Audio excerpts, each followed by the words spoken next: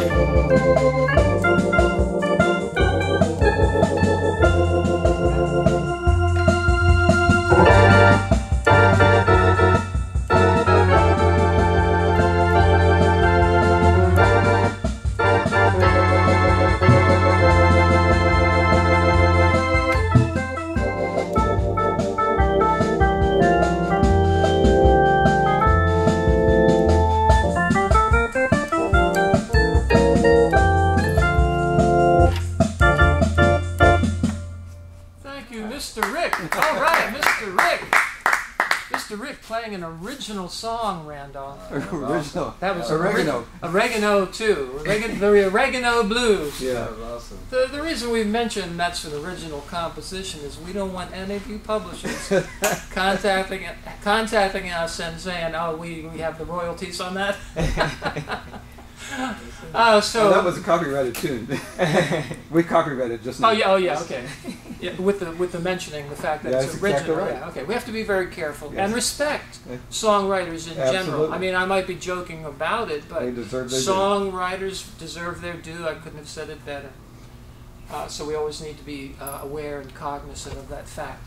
But, um, ladies and gentlemen, I'm Jim Huss speaking with you from the showroom here at Keyboard Exchange International. You just heard Mr. Rick playing our Hammond Colonnade.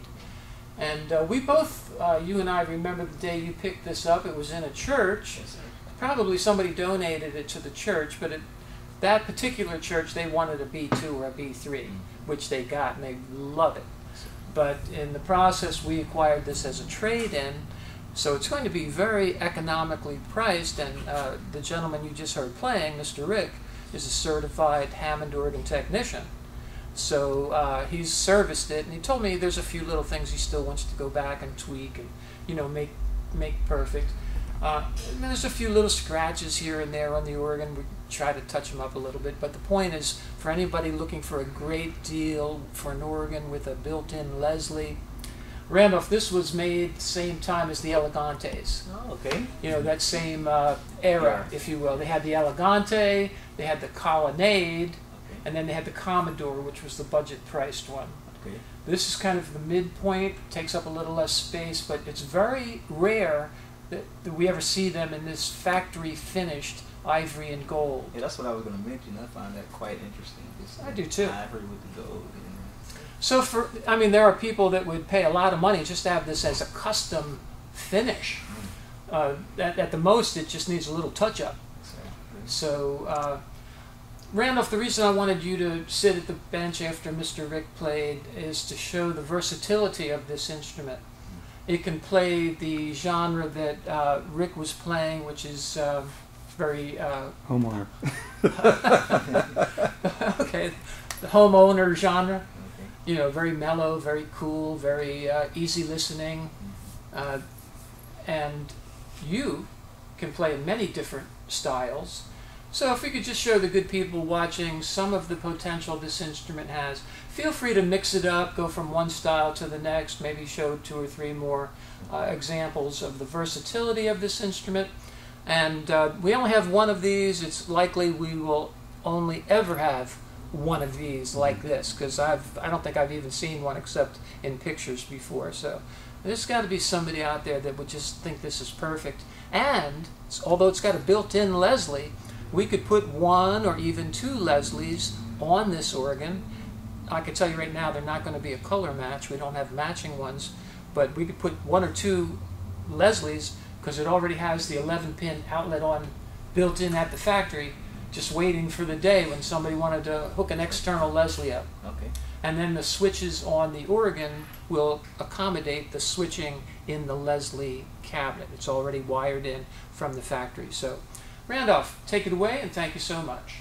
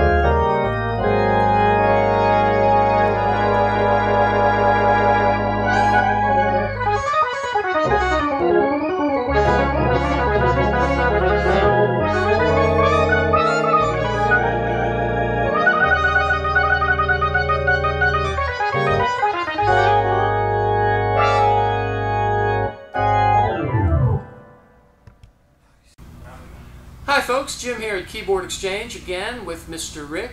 There were a few features that we haven't had a chance to demonstrate yet. Yet, so uh, Rick, what I'd like you to do is start playing. Let's put a little rhythm on. Yeah. And what we're going to use are the factory presets. There are five of them. And when Rick finishes going through briefly all five of them, he'll press cancel, and then it'll revert directly back to the drawbars.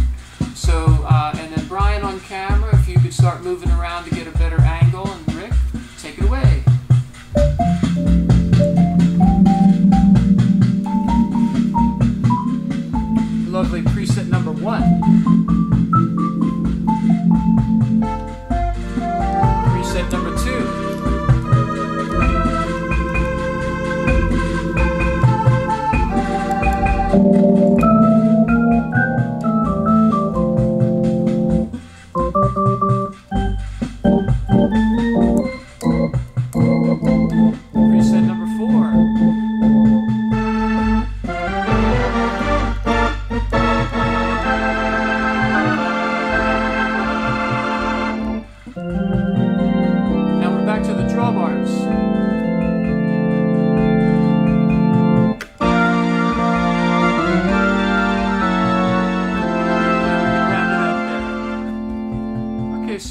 Went through all five presets. Then, when, when Rick pressed cancel, he reverted to the drawbars and was then able to start using some of the auxiliary sounds that are available on this instrument.